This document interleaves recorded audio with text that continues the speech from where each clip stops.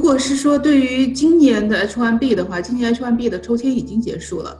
那说这个行政令会不会对 R 呃 H1B 今年的情况有实际的影响？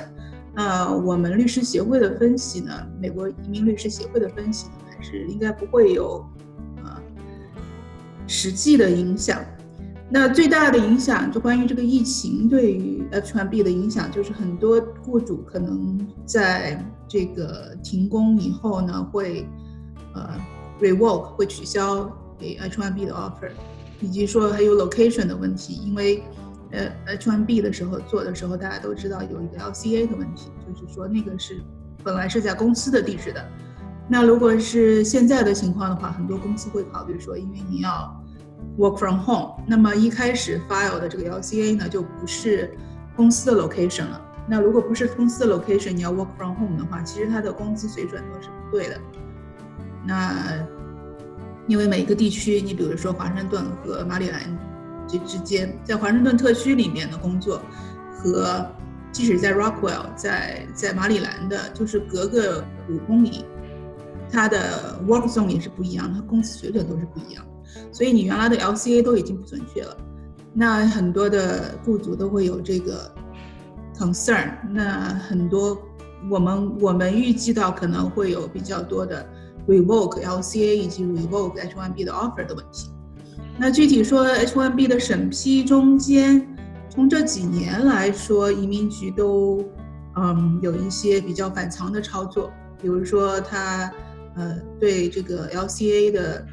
呃 certificate 有一些 question，认为是说他们不认同劳工部的这个 LCA 的这个呃标准。这几年都会有，都都一直有有这一些。呃，移民局特地这个关于说对于 H1B 提出来的难题，今年我们没有看见说更多的呃 RFE 的这这这一些这一些呃标准，RFE 还是根据个人以及公司还有这个 position 来的。那面临的可能大部分的 H1B 的今年抽签中了的人面临还是说关于说 LCA 的 location。工资以及说是不是说你的雇主会 revoke 他们的 H1B 的问题？那如果不幸被 revoke 的话，那接下来一步要面临着怎么样的程序？嗯，那就只能是转换身份了。转换身份。那如果是说有 STEM OPT 的，那你就开始准备，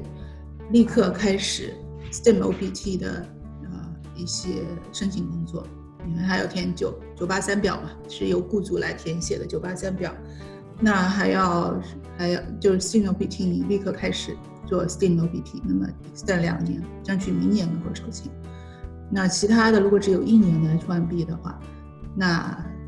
呃 H 呃一年的 OPT 的这个时间的话，建议就是做好准备，一个是说是不是考虑先回国，那明年即使你在境外也可以申请 H1B。那二一个的话就是你要不要在比如说硕士毕业的，你要不要读博士？那或者是说，嗯，还愿意找其他的机会的，可以可以转换身份到 B two，或者是在读另外一个专业，或者是其他的准备，需要做一些准备。即使是说目前公司没有 revoke 你的呃嗯 H one B 的 offer，但是公司已经有这种倾向性在裁员的话，那大家都做好准备。好，那我们就是聊点开心的，就是说，如果 今年的 H1B 就是很幸运的被批准了，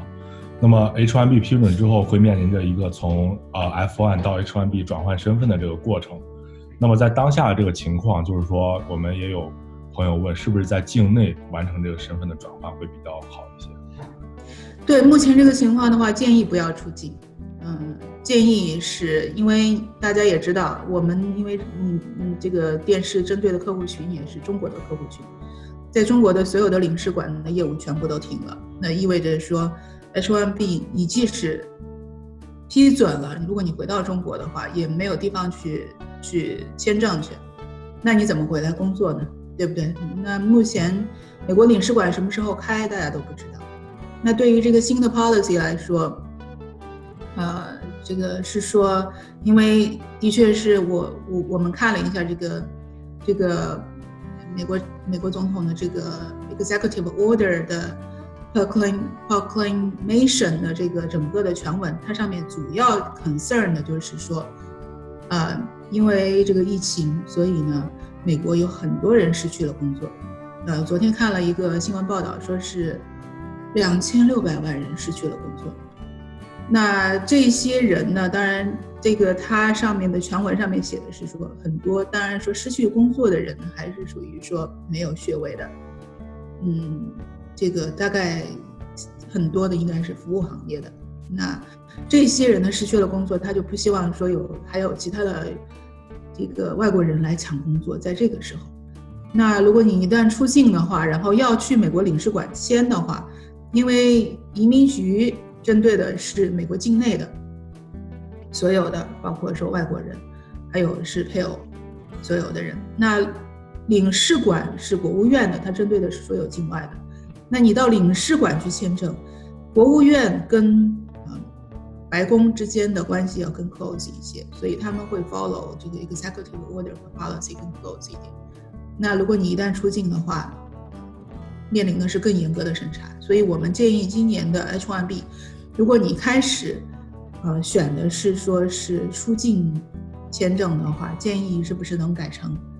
呃，在这里 A AOS 就是在这里转换成，这个应该是最安全的。如果是实在是很不幸，不能改，然后也批准了，然后你一定要出境签的话，建议不要回中国签，你看看说能不能到加拿大签。因为墨西哥是不能够，呃，换类型签证。目前第三国签证比较安全的，只能是加拿大签。当然，还有一个问题就是你要去签加拿大签证才能入境加拿大，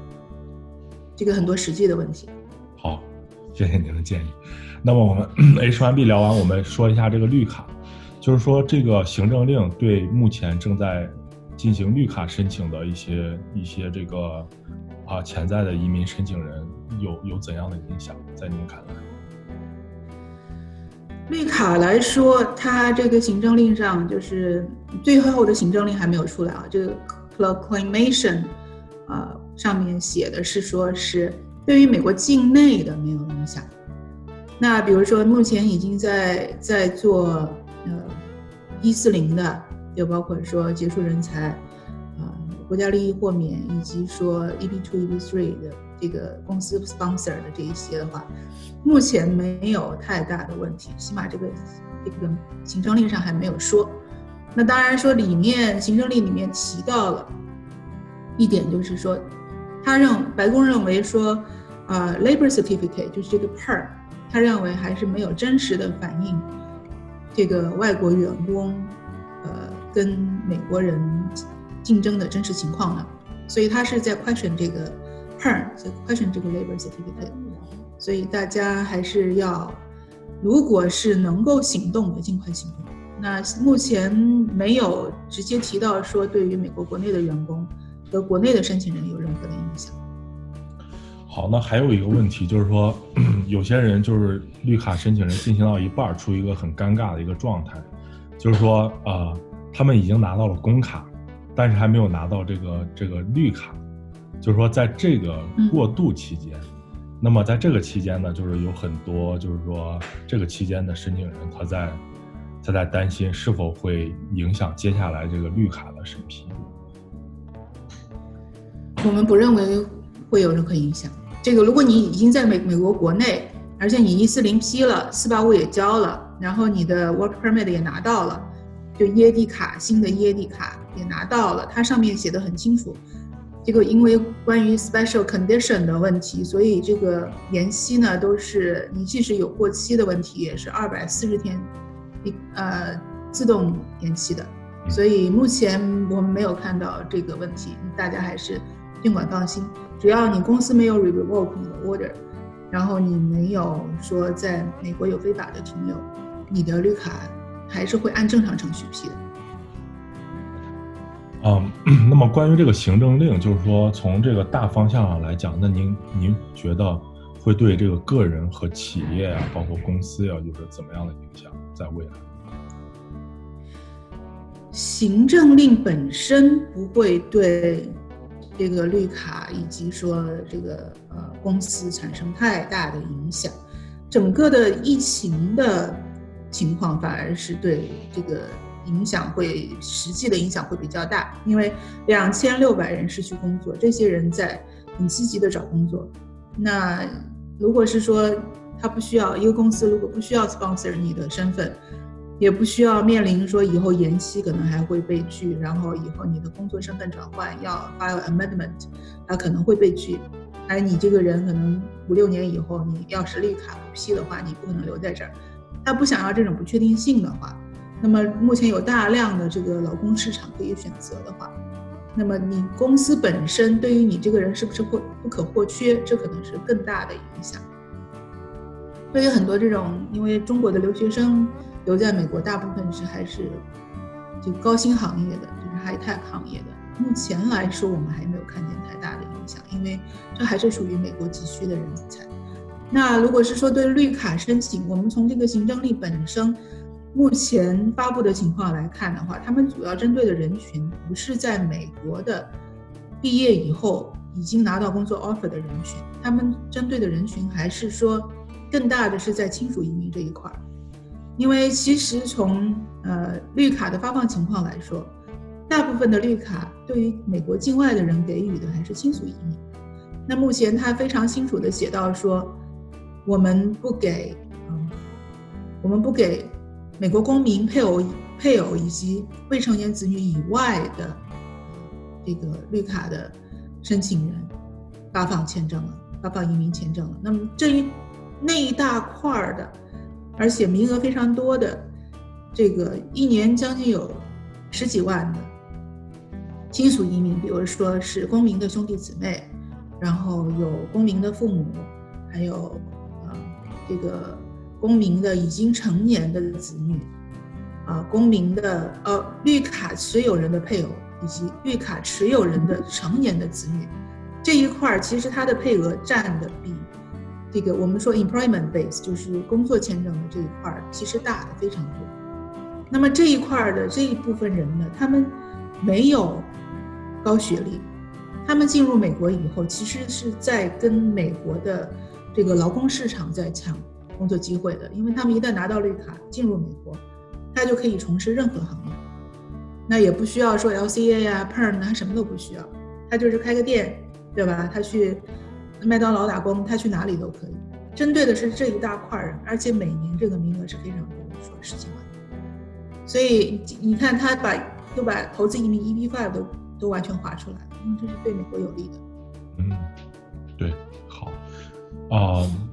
那就是说，我们再说回这个行政令，这个行政令后面附加了非常多的这个豁免条例。那么在豁免条例里边，他提到了，就是说，啊，如果你是美国政府需要的人士，那么你依旧可以按照正常的程序入境。那么他在这个，我们已经非常明确的知道，如果说是对这个新冠肺炎的治疗啊，包括科研工作有贡献的人。这个是在豁免之之列，那么还有哪些人，就是哪些从事哪些工作的人，啊，您觉得会被定义为美国政府需要的人？我认为他这个美国政府定义的美国需要的人还是很广的。我们认为是说，你看，包括说大部分留学生，呃，拿到工作 offer 以后，这些职位都还是美国需要的职位。因为他之所以拿到这个 offer，就说明说你第一是高学历的，你从事的行业是美国缺少的人才。那么他说了，你这个还需要提供比较明确的证据来证明说你是美国需要的人才，比如说你是光纤通信的。那么美国现在在大力发展说跟中国竞争的这个 5G 的这个 network，只要你能提出证明说我在美国能够给美国提出的贡献，以及说你公司能够在从事的一些项目，啊，是对美国是急需的。这并不是说只是抗击疫情这一块的，就是说美国，呃，他需要的，对他的发展、对他的生活、对他的工业发展各个方面有用的人才，都是他急需的人才。你比如说，你看我们的那个 Stay Home Order 里面，它这个那个很很多州说什么叫 essential 的行业，对不对？essential 的行业都可以去上班，公司一定要开。那它其实包括说五金的供应商，对吧？你你说什么？呃，小电子产品啊的零配件，然后这个贸易商、开发商这一块儿都是属于，还包括说房屋的 renovation、建设的工人，这些都属于 essential 的行业。意思就是说，维持这个社会正常运转的所有的人，当然说你除了说餐馆啊这些高聚集的地方造成这个危险，那你可以理解说，只要是维持这个社会正常发展的人，他应该都是说。是美国需要的行业，并不只是医护人员。那医护人员从另外一个角度来说，如果你不是跟疫情直接相关的医护人员，现在医院也在大量裁员，那你这个怎么个定义法？你自己能够，你和公司以及你的律师可以找到很多的证据，能证明说我是美国需要的，能够属于豁免这个呃之列的类别之类的这个行业。这个你需要由你和你的律师提供证据。大家都是可以做到的，我相信。